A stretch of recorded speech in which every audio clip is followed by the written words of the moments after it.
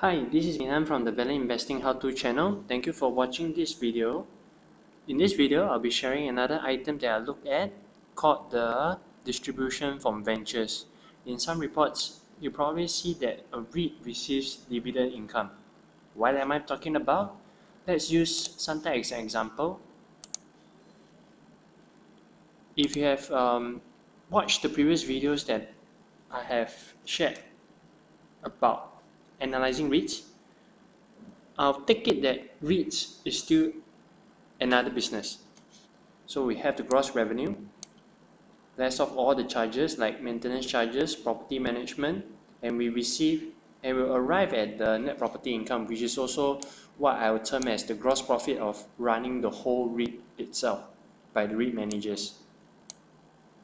And going down to the end, we'll see that this line talks about the profitability of the REIT itself.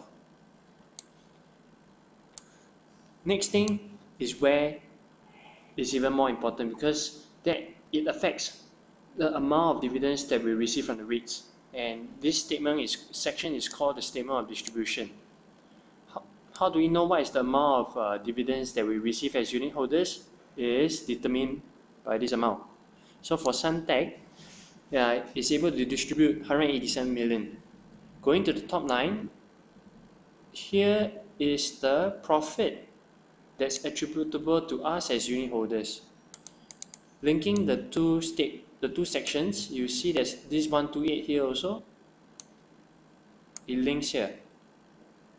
Okay, so you continue to move down and you see this particular part called the dividend income.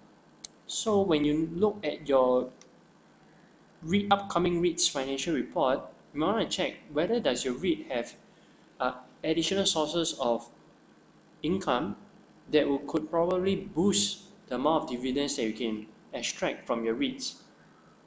So what is all this dividend income about and where does it come from? So let's head down to section L and it says that this relates to the dividend distribution income received from wholly owned subsidiaries and joint ventures.